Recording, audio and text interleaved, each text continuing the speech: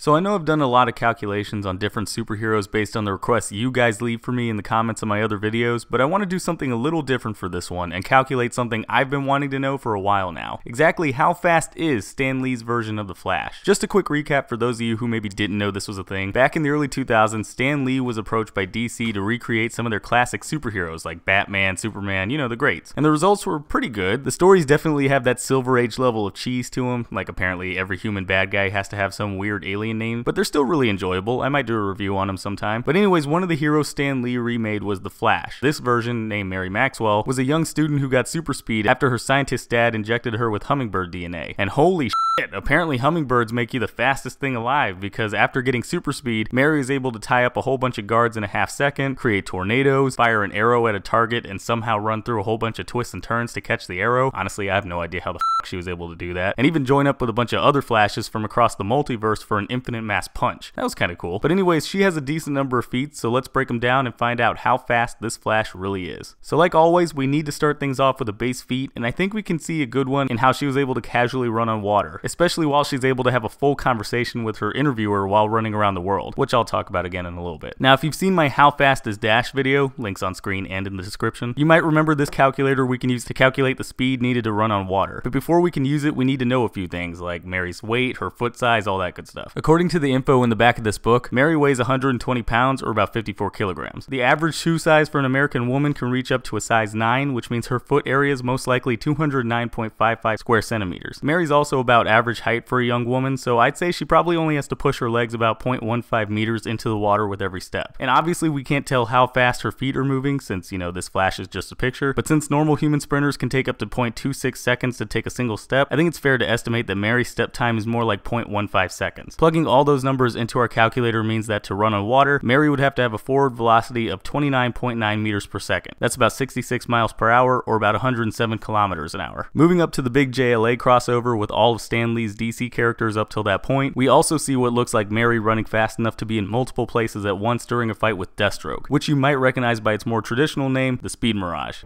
It's an afterimage, a speed mirage, if you will. In order to create a speed mirage, Mary would have to be in two different places fast enough for the human eye to notice the differences in the frames per second. It looks like the furthest she's making a speed mirage in this panel is maybe a foot away from her starting position, that's about 0.3 meters, and assuming she has to be there and back 60 times a second in order to trick your brain into believing her speed mirage, Mary would be moving at a nice and easy 120 feet per second, or about 36 meters per second. That's about 81 miles per hour, or about 131 kilometers an hour. Keep in mind, this speed can actually decrease or increase depending on how far Mary's actually traveling traveling in order to make a speed mirage. Skipping all the way back to when Mary first got her powers, we saw that she was able to immediately disarm the two thugs that killed her dad before running them into the street, all with them not having any clue what was going on. Now the average human reaction time to visual stimuli is 0.25 seconds, and since she was able to do all this stuff before these guys had any idea what was going on, it's obvious she was running faster than that. Just to stay on the safe side so I'm not overestimating this feat, I'm just to say that she was able to beat these guys up and run them out to the streets in 0.24 seconds. Now we know the time she was able to do this feat, so all we need to do is figure figure out the distance she ran. You can see in the panel that the guys and their car really aren't all that far away from the house, so I'd estimate that Mary ran them maybe about 6 meters away or 20 feet. Funny enough, the average single car driveway is about 20 feet long, so this is probably a decent estimate. Doubling that length to cover her back and forth travel distance, that gives us a total running distance of 40 feet or about 12 meters. Plugging the numbers into the standard formula for velocity, v equals d over t, and doing the math means that Mary ran about 48 meters per second. That's about 107 miles per hour or 172.8 kilometers kilometers an hour. Back when she was testing the limits for her powers, we saw that Mary was able to shatter the glass windows on a building just by running past it. Looking at the panel, it looks like she created a sonic boom while running that fast. And as we all know, sonic booms occur when something runs faster than the speed of sound, which is about 761 miles per hour or 1,225 kilometers an hour. Then there's the fact that Mary was able to take on two different stealth goons at once while outspeeding their guns. Now we can't really figure out how fast she is compared to the guns in this panel because we don't know what guns the goons are using, but we can however however, quantify her statement in this panel where she states that she's faster than any bullet. Taking that at face value, some of the fastest bullets are fired by rifles at speeds of 4,000 feet per second. That's about 2,727 miles per hour or 4,389.12 kilometers an hour. Moving on to the secret files and origin story, we saw that Mary was able to run around the world in the amount of time it took her to do a short interview. Now we can't quantify the entire trip since it's impossible to tell where she is in certain panels, like seriously, where the hell is she here? Or here? The fuck is this, Limbo? That having been said, we we can quantify a decent sized stretch of it. Based on landmarks in a few of the panels, we see that Mary's able to go from sentence to sentence while running from China to Japan, then to Russia, then to Paris. First, let's figure out the distance. We can see in these panels that she's running the length of the Great Wall of China before she pops up in Japan. The air travel distance between China and Japan is about 1,892 miles or 3,045 kilometers, which means the land travel distance between the two would be about 2,175 miles or 3,501.75 kilometers. Adding in the length of the Great Wall, which according to a 2012 archaeological survey by China's State Administration of Cultural Heritage is 13,170.69 miles long or 21,196.18 kilometers, that means Mary ran about 15,346 miles or 24,697.93 kilometers while running from China to Japan. In the next panel, we see that Mary took her interviewer to what looks like the St. Basil's Cathedral in Moscow. The air travel distance from Japan to Moscow is about 4,567 miles or 7,350 kilometers.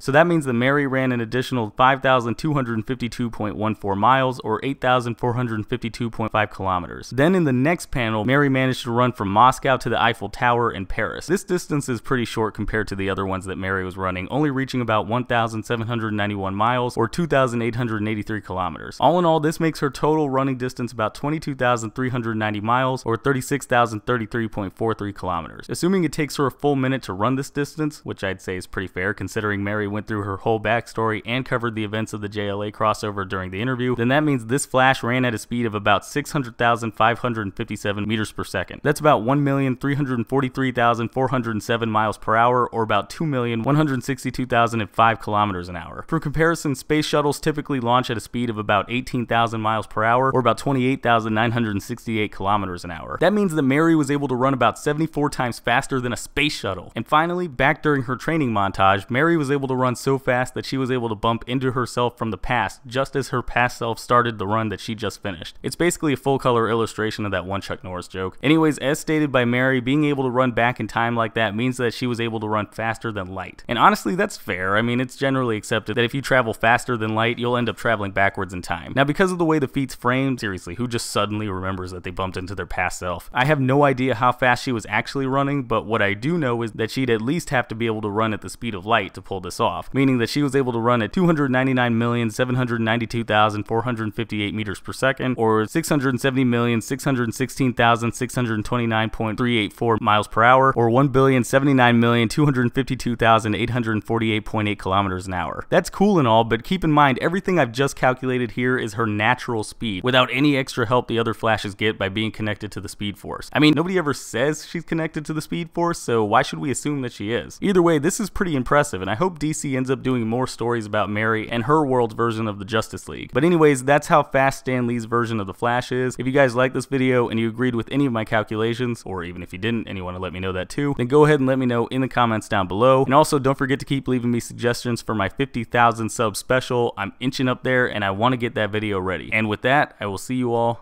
next time. Hey, thanks for watching. If you liked the video, be sure to click that like button, maybe leave me a comment while you're at it, and go ahead and click that subscribe button.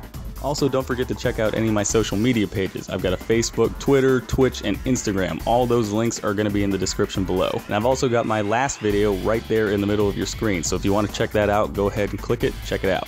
Alright, and I will see you all next time.